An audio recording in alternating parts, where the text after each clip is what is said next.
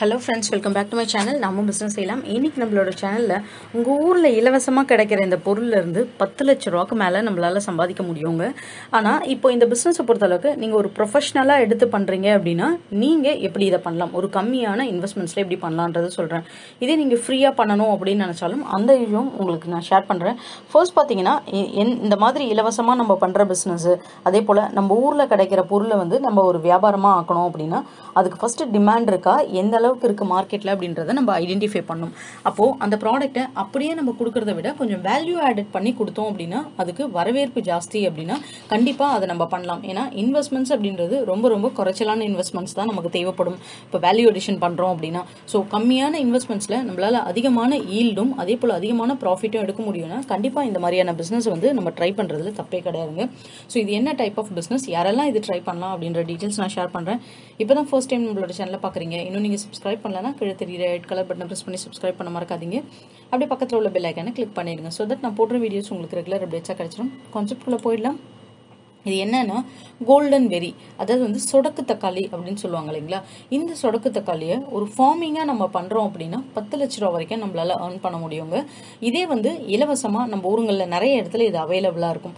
அப்படியே பறித்து அப்படியே கொடுத்தோன்னா இதுக்கு மதிப்பு எதுவுமே கிடையாது. இதை எப்படி நீங்கள் வந்து மதிப்பு கூட்டி வேல்யூ அடிஷன் பண்ணி சேல்ஸ் பண்ணும் அப்படின்றதையும் நான் சொல்கிறேன் ஸோ இது கோல்டன் வெரின்னு வாங்க இல்லை கேப் கூஸ்பெரி அப்படின்னு சொல்லுவாங்க சொடக்கு தக்காளின்னு சொல்லுவாங்க.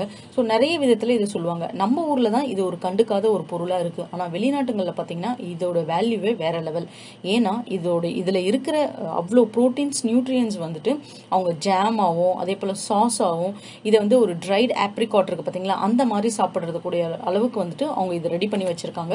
எல்லாமே பார்த்தீங்கன்னா இங்கேருந்து நம்ம ஊருங்கள்லேருந்து போகக்கூடிய இந்த ப்ராடக்ட்ஸை தான். ஃப்ரெஷ்ஷான ப்ராடக்ட்ஸ் தான் எக்ஸ்போர்ட்டில் நிறைய வந்து வாங்குவாங்க. அப்படி ஃப்ரெஷ்ஷான ப்ராடக்ட்ஸ் வாங்குறது ட்ரை பண்ணி அவங்க ஊரில் வந்து அதை சேல்ஸ் பண்ணுவாங்க.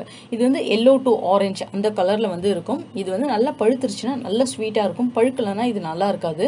அதே போல் இதோட ஃப்ளேவர் எப்படி இருக்கும்னு பார்த்தீங்கன்னா as ஒரு தக்காளியோட ஃப்ளேவர்ஸ் எப்படி ஒரு புளிப்பு தன்மையாக ஒரு மாதிரியான ஸ்வீட்டன் கலந்த மாதிரி இருக்கும். அப்படி தான் இதோடைய ஃப்ளேவர் வந்து இருக்கும் நமக்கு.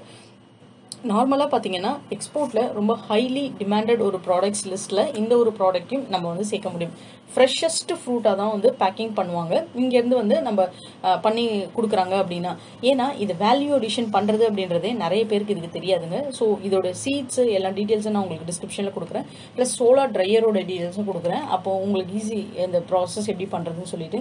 இதை எப்படி வளர்த்துவாங்கன்னு பார்த்தீங்கன்னா ப்ரொபகேஷன் இது பண்ணுறது வந்து சீட் விதைகள் மூலியமாக தாங்க இதை வளர்ப்பாங்க. ஸோ இந்த விதை எங்கே கிடைக்குதுன்னு சொல்கிறேன் இந்த விதைகள் மூலியமா இதை வளர்க்குறாங்க அப்படின்னா இதுக்கு என்னென்னலாம் பராமரிப்பு பண்ணணும் அப்படின்றது ஃபர்ஸ்ட் நமக்கு தெரியணும். இது வந்து பார்த்தீங்க அப்படின்னா ஒரு ஷெர்ப் பிளான்ட் அதாவது வந்து பொதார் மாதிரி வளரும் பார்த்தீங்களா உங்களுக்கு? அந்த மாதிரி ஒரு பிளான்ட் வகையை சேர்ந்தது இது.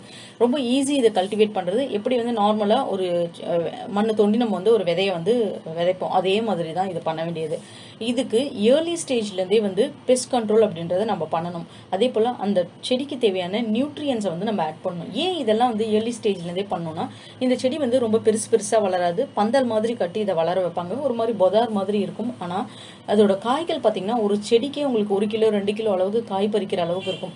ஸோ யூஸ்வலாகவே நமக்கு தெரியும் ஒரு தக்காளி செடி அப்படின்னாலே அதில் வந்து எவ்வளோ விதமான பூச்சிகள் வந்து வர ஆரம்பிக்கும். ஸோ இனிஷியல் க்ரோத்லேருந்தே இதுக்கு நியூட்ரியன்ஸ் நம்ம ஆட் பண்ணணும். இதோட லீவ்ஸ் பார்த்தீங்கன்னா க்ரீன் கலராகவும் நல்ல பெருசாகவும் அதே போல் வந்து பார்த்தீங்க அப்படின்னா இர்ரெகுலர் டூத் மார்ஜின்ஸ் உங்களுக்கு ஒ- ஒரு ஷேப்டாகவே உங்களுக்கு இருக்காது. அது உள்ளே இருக்கிற லைன்ஸ்லாம் பார்த்தீங்கன்னா உங்களுக்கு வந்து ஜிக்ஸாக் மாதிரி ஒரு மாதிரி ஃபிஸியாக இருக்கும் நமக்கு பார்க்கும் போதே அந்த மாதிரி தான் இதோட லீவ்ஸ் இருக்கும். இதோட ஸ்டெம் பார்த்தீங்க அப்படின்னா தண்டு க்ரீன் கலராக கொஞ்சம் புஷஸ் மாதிரி முடி இருக்கிற மாதிரி இருக்கும். தண்டு கீரையில் இருக்கும் பார்த்தீங்கன்னா அந்த மாதிரி முடி இருக்கிற மாதிரி இருக்கும். ஃபைப்ரஸாக இருக்கும் இதோட ரூட் ஸோ இதுதான் ஆக்சுவலாக ஒரு கீரை கட்டு வாங்கினா எப்படி இருக்கும்? ஒரு ஒரு மாதிரி பொத்தார் பொத்தார் அங்கங்கே வந்துட்டு ஒன்றா அப்படியே கைப்பிடிச்சி எடுத்தால் உங்களுக்கு வந்து அழுற மாதிரி. அப்படி தான் இது இந்த செடியே வந்து வளரும். உங்கள் கல்டிவேஷன் பண்ணோம் அப்படின்னா. இதுக்கு சூட்டபிள் ப்ராஸ் பிளேஸ் பார்த்தீங்கன்னா ட்ராபிக்கல் ரீஜன் டெம்பரேட் ரீஜன் இது ரெண்டுமே பார்த்தீங்கன்னா இந்தியாவில் இருக்கக்கூடிய ஒரு ரீஜன் தான். நம்ம நார்மலாக எல்லா இடங்கள்லையுமே எல் எல்லாம் ஒரு கு- ஒரு குப்பையான இருந்தாலும் சரி ஒரு ஏரி பகுதியாக இருந்தாலும் சரி எல்லா இடத்துலையுமே இது வளருது அப்படின்னா ஒரு பராமரிப்பே இல்லாமல் அப்போ நம்ம ஊரில் இது வளர்கிறதுக்கான ஒரு பிளான்ட் தான். ஃப்ராசனாக இருக்கிற இடத்துல ஃப்ரீஸ் ஆகிற இடத்துல இது வந்து அவ்வளோவா வளர்ச்சி அப்படின்றது கிடைக்காது அப்படின்னு சொல்கிறாங்க அதே போல் பூச்சிகள் அப்படின்றது அதிகமாக தாக்கக்கூடிய ஒரு பிளான்ட்டு தான் இந்த பிளான்ட் அதனால நம்ம இனிஷியல்லேருந்தே பார்த்தீங்க அப்படின்னா உங்களுக்கு அந்த வேப்ப எண்ணெய் வந்து ஸ்ப்ரே பண்ணுறது அதே போல் வந்து பார்த்தீங்கன்னா உங்களுக்கு நிறைய வந்து ஆர்கானிக் பயோ ஃபெர்டிலைசர்ஸ் இருக்குது அந்த மாதிரி ஆர்கானிக் பயோ ஃபெர்டிலைசர்ஸ் யூஸ் பண்ணி நீங்கள் இந்த பூச்சிகளை வந்து கண்ட்ரோல் பண்ணுற மெத்தட் மட்டும் பார்த்துக்கணும் அதே போல் இந்த மாட்டு சாண கரைச்சல் இதெல்லாம் வந்து உங்களுக்கு சேர்ந்து நிறைய கலவைகள் மாதிரி பண்ணுவாங்க. பூச்சிகள் வந்து தடுக்கிறதுக்காக கீரை வகைகளில். அந்த மாதிரி எல்லாமே வந்து நீங்கள் யூஸ் பண்ணிக்கலாம். ஆஸ் யூஷுவல் அது வந்து ஒரு வேளாண் துறையில் நீங்கள் ஒரு ஒரு எக்ஸ்பீரியன்ஸ் அவங்கக்கிட்ட வேணும்னு கேட்டிங்கன்னா அவங்களே உங்கள் சைடில் உங்களுக்கு ஹெல்ப் பண்ணுவாங்க. ஸோ அந்த விஷயங்கள்லாம் நீங்கள் அங்கே வந்து லேர்ன் பண்ணிக்கலாம். இதை வந்து பார்த்தீங்க அப்படின்னா ஒரு ரோப் வச்சு கயிறு வச்சு படல் மாதிரி போட்டு பந்தல் மாதிரி எப்படி ஒரு பாவக்காய் கொடி ஒரு திராட்சை கொடி பண்ணுறாங்க அந்த மாதிரி வந்து கட்டுவாங்க. ஏன்னா ஈஸியாக அது பறிக்கிறதுக்கு உங்களுக்கு ஈஸியாக இருக்கும்ன்றதுக்காக. மேனுவலாக கையில் இதை ப பறிக்கலாம். அதே போல் பார்த்தீங்கன்னா சிசர்ஸ் வச்சு கட் பண்ணலாம். பிடுங்கக்கூடாது இதை.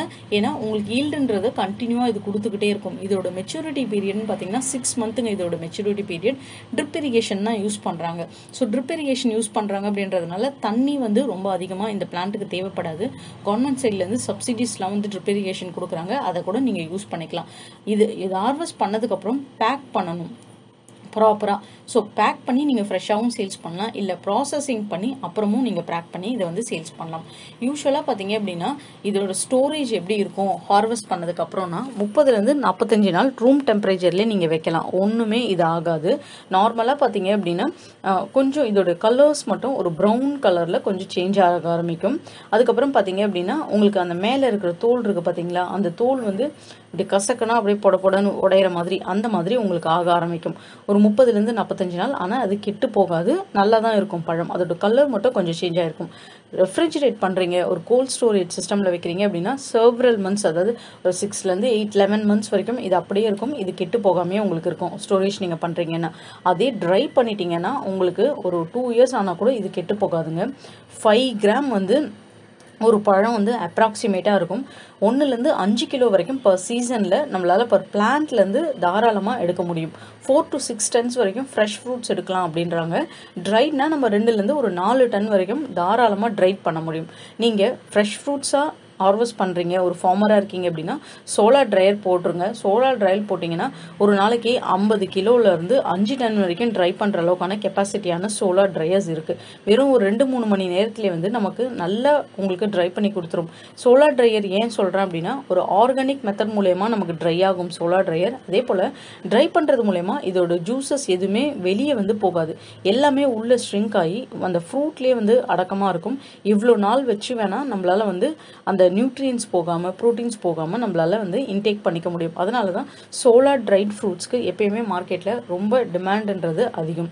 உங்களுக்கு நெக்ஸ்ட் பார்த்தீங்கன்னா அப்படி சோலார் ட்ரையர் எதுவுமே இல்லை. நீங்கள் வந்து வே- ஒரு ஒரு கல்டிவேஷன் ஃபார்மிங் பண்ண விரும்பலை. உங்கள் ஏரியாங்களில் ஃப்ரீயாகவே கிடைக்குது. ஒரு அஞ்சு கிலோ பத்து கிலோ அப்படியே நீங்கள் சேல்ஸ் பண்ணணும்னு நினைக்கிறீங்க அப்படின்னா இந்த மாதிரியான ட்ரையர்ஸ் அமேசான்லேயே விற்கிது உங்களுக்கு. Five hundred rupees six hundred rupees இதில் பார்த்தீங்கன்னா ஒரு கிலோ ஒன்றரை கிலோ வரைக்கும் பண்ண முடியும் அப்படின்னு நினைக்கிறேன். ட்ரைங் கால் கால் கிலோவாக உங்களால் அரேஞ்ச் பண்ணி இந்த பிளேட்ஸில் அந்த மாதிரி ஒரு ட்ரையர் வாங்கிக்கோங்க. அதில் வந்து ஜஸ்ட் வந்து நீங்கள் போட்டுட்டு இது வந்து ஒரு battery operated plug and play அந்த மாதிரி வந்து ட்ரையர்ஸ் அவைலபிளாக இருக்குது ஒரு சின்னதாக ஹேண்டியாக ஒரு அஞ்சு கிலோ நீங்கள் பண்ணுறீங்க அப்படின்னா ஒரு ஒன்றரை கிலோ ரெண்டு கிலோ அந்த மாதிரி உங்களால் அவுட்புட் எடுக்க முடியும். அப்படியே நீங்கள் ஒரு சின்ன சின்ன பேக்கெட்ஸ் போட்டு சூப்பர் மார்க்கெட்ஸ்க்கு ஆன்லைனில் இந்த மாதிரி நீங்கள் வந்து சேல்ஸ் பண்ணலாம். இன்கேஸ் நீங்கள் ஃபார்மிங் பண்ணல கல்டிவேஷன் இல்லாமல் பண்ணாமல் நீங்கள் வந்து இலவசமாக கிடைக்கிற ப்ராடக்ட்ஸ் எடுத்து நீங்கள் மதிப்பு கூட்டி வேல்யூவேஷன் பண்ணி பண்ணோம் அப்படின்னு நினச்சிங்க அப்படின்னா ஃபிஃப்டி கிராம் பார்த்தீங்கன்னா ஒன் எயிட்டி ருபீஸ் வரைக்கும் இதை சேல்ஸ் பண்ணுறாங்க மார்க்கெட்டில் மேக்ஸிமம் நிறைய இடத்துல இது அவைலபிளே கிடையாதுங்க. இந்த கேப் கூஸ்பெரி அப்படின்வாங்க இது வந்து ஜாமாக வந்து ரெடி பண்ணி விற்கிறாங்க ஏன்னா இது பழமாக இருக்கிறதுனால தக்காளி பழத்தை இவ்வளோ நாள் வரைக்கும் நம்மளால் ஸ்டோர் பண்ண முடியும் ஒரு ரூம் டெம்பரேச்சரில் பண்ண முடியாது. அது ஸ்பாயில் ஆகிடும் அதனால் இதை சாஸ் மூலியமாகவோ ஜாம் மூலியமாவோ பிக்கல் மூலியமாகவோ இந்த மாதிரி நிறைய வெரைட்டிஸாக வேல்யூ அடிஷன் பண்ணி தான் இதை வந்து சேல்ஸ் பண்ணிகிட்ருக்காங்க இது எல்லாத்துக்குமே பார்த்தீங்க அப்படின்னா one of the best method dried method தான். ட்ரைட் மெத்தடில் எந்த செலவும் இல்லாமல் நம்ம மண் தூசி டஸ்ட் எதுவுமே இல்லாமல் சோலார் ட்ரையரில் ட்ரை பண்ணி மட்டும் சேல்ஸ் பண்ணாலே போதுங்க இதை. வேறு எதுவுமே நம்ம பண்ண வேண்டிய அவசியம் இல்லை. சீட்ஸ் பார்த்தீங்க அப்படின்னா உங்களுக்கு இந்த கேப் கூஸ்பரி ஒரு தேர்ட்டி சீட்ஸ் சேர்ந்த ஒரு கொம்போ பேக்கெட் வந்து ஒன் ஃபார்ட்டி செவன் ருபீஸ் விற்கிறாங்க இது நார்மலாக தொட்டிகளில் இந்த மாடி தோட்டங்களில் பண்ணணும் அப்படின்னு நினைக்கிறவங்களுக்கு இது சூட்டபிள் ஆகும். பட் ஒரு ஃபார்மிங்காக கல்டிவேஷன் பண்ணோம் அப்படின்றவங்களுக்கு உங்களுக்கு கிலோ கணக்கில் கொடுப்பாங்க. அந்த டீட்டெயில்ஸ் உங்களுக்கு நான் டிஸ்கிரிப்ஷன்லேயே உங்களுக்கு கொடுக்குறேன். ஒரு கிலோ பார்த்தீங்கன்னா மூணாயிரத்தி ஐநூ அறநூறுவா வரைக்கும் மார்க்கெட்டில் இதை விற்கிறாங்க நீங்கள் ஆயிரம் ரூபாய்க்கு ஹோல்சேலில் சேல்ஸ் பண்ணால் கூட போதும். ஒரு டன் வந்து பத்து லட்ச ரூபா கிட்ட நம்மளால் வந்து தாராளமாக அன் பண்ண முடியும். பேக்கிங் பண்ணணும் எஃப்எஸ்ஐ லைசன்ஸ் எடுக்கணும். இது ரெண்டு மட்டும் தான் நீங்கள் வந்து பண்ண வேண்டியதே இந்த ப்ராடக்ட்டு மார்க்கெட்டிங்கை பொறுத்தளவுக்கு ஆன்லைனில் அமேசானில் ஃப்ளிப்கார்ட்டில் ஸ்னாப்டீலில் சூப்பர் மார்க்கெட்ஸில் எல்லா இடத்துலையும் பண்ணலாம். எக்ஸ்போர்ட் ஆர்டர்ஸ் கிடைச்சாலும் பண்ணலாம். இல்லை ஆல்ரெடி எக்ஸ்போர்ட் ஆர்டர் யாராச்சும் பண்ணிட்டு இருக்காங்க அவங்க கூட டைப் வச்சு இந்த மாதிரியான ப்ராடக்ட் நான் சப்ளை பண்ணணும்னு விரும்புகிறேன் அப்படின்னு நீங்கள் நினச்சாலும் தாராளமாக பண்ணலாம். ஒரு சூப்பரான பிஸ்னஸ் ஐடியாங்க இன்னைக்கு நான் ஷேர் பண்ணியிருக்கிறது. வில்லேஜ் சைட்லேருந்து என்ன பண்ணுறதுன்னு தெரியல. வித்தியாசமாக ஏதாவது பண்ணணும்னு நினைக்கிறேன் அப்படின்னு நீங்கள் இருக்கிறீங்க அப்படின்னா இந்த டைப் ஆஃப் பிஸ்னஸ் ஐடியாவை நீங்கள் யூஸ் பண்ணிக்கோங்க. இதுக்கு தேவையான எல்லா டீட்டெயில்ஸும் நான் டிஸ்கிரிப்ஷனில் கொடுக்குறேன். உங்களுக்கு இந்த வீடியோ பிடிச்சிருந்தா நம்ம சேனலை சப்போர்ட் பண்ணுங்கள் சப்ஸ்கிரைப் பண்ணுங்கள் அப்படியே உங்கள் ஃப்ரெண்ட்ஸ் கூட ஷேர் பண்ணிவிட்டு லைக் பண்ண மறக்காதீங்க. தேங்க்யூ